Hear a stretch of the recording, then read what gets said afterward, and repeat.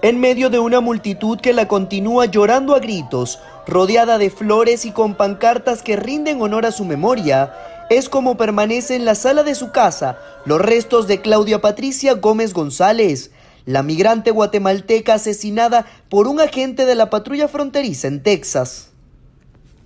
La joven de 20 años que será velada en su aldea natal, la Unión de los Mendozas del municipio San Juan Ustucalco, durante dos días, fue recibida también por autoridades municipales, quienes le rindieron un emotivo homenaje en el complejo deportivo local a unos metros de la alcaldía.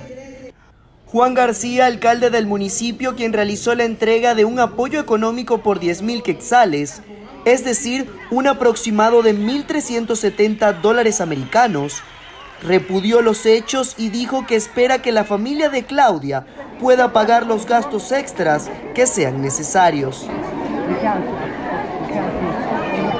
El cadáver fue trasladado en un carro fúnebre color gris que recorrió unos 220 kilómetros desde el aeropuerto hasta la aldea de la joven indígena, donde llegó a altas horas de la noche de este jueves rodeada por una caravana que la acompañó desde el aeropuerto La Aurora en Ciudad de Guatemala. Y es que Claudia se ha convertido en un símbolo de lucha.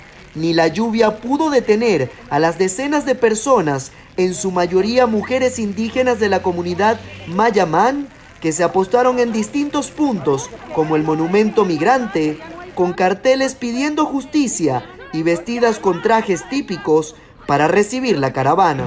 Exigiendo justicia por la muerte de Claudia. ¿Cómo es eso que nosotros los guatemaltecos dejamos a que los extranjeros entren a nuestro país libremente y por qué la gente de nosotros no dejan que entren en el país de ellos? Exigimos justicia por la muerte de Claudia. ¡Justicia! ¡Justicia!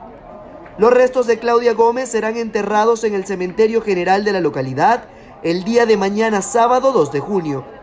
Reportando para Mundo Hispánico, Carlos Moreno.